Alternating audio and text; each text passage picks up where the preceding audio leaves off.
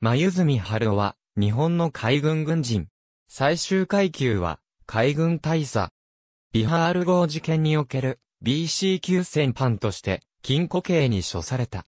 1899年10月2日、群馬県北神羅郡富岡町で、養蚕製紙業を営む父、春吉と母、かよの長男として生まれる。姉、国子は後に、内田一太郎と結婚している。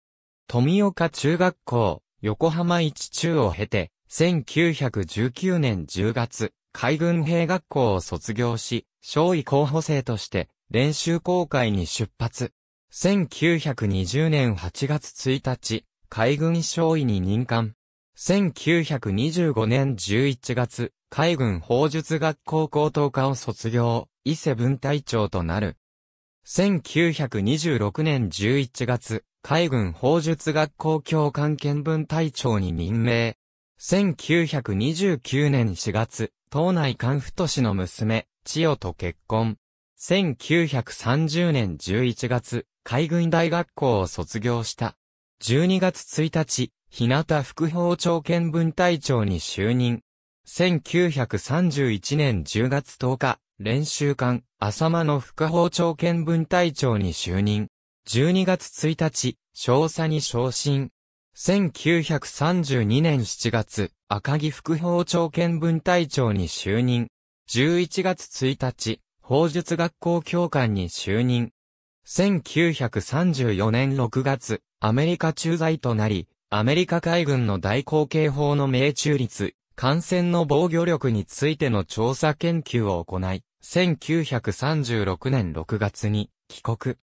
海軍省軍務局調査課、法術学校教官、第4根拠地帯参謀、法術学校教官、古高副長、横須賀鎮守府出資、呉鎮守府付、大和副長などを経て、第3図海士官隊参謀時の1941年10月、海軍大佐に進級。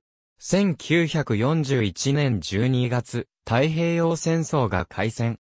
以後、水上規模艦、秋津島艦長、第11航空艦体験第8艦隊参謀、軍令部出資、横須賀法術学校教頭などを歴任。1943年12月、利根艦長に就任。1944年3月、利根は第16戦隊の指揮下に入り、佐第1号作戦に参加。利根は、インド洋で、イギリスの商船、ビハール号を撃沈した際に捕虜を得て、作戦後に、その殺害を命じた。この事件は戦後 BC 級戦犯として裁かれた。6月、マリアナ沖海戦に参加。10月、レーテ沖海戦に参加。1945年1月、横須賀鎮守府参謀副長となり、貨幣戦部員兼軍令部員を経て、科学戦部長の時に終戦を迎え、同年11月、予備役に編入された。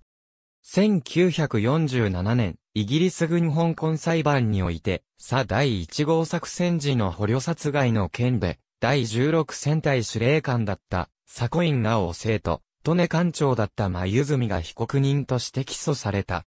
10月29日、左根城は、公死刑、眉住は、禁錮7年の判決が宣告され、1951年9月まで、交留された。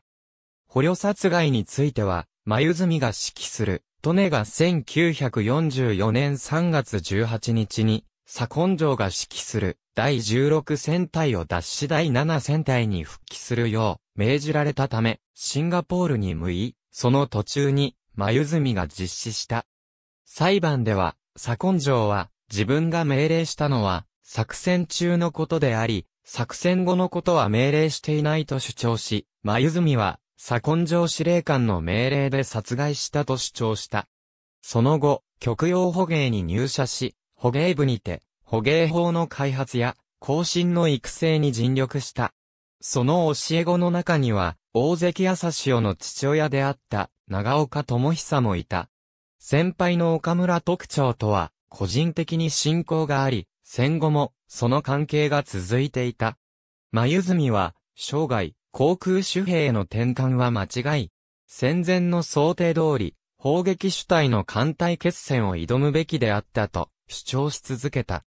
日本海軍の遠距離砲撃の命中率は、米軍の3倍とする説が存在するが、これは戦前に日本の諜報機関が米海軍の砲撃演習結果を入手し、眉住が分析した結果が元になったとされている。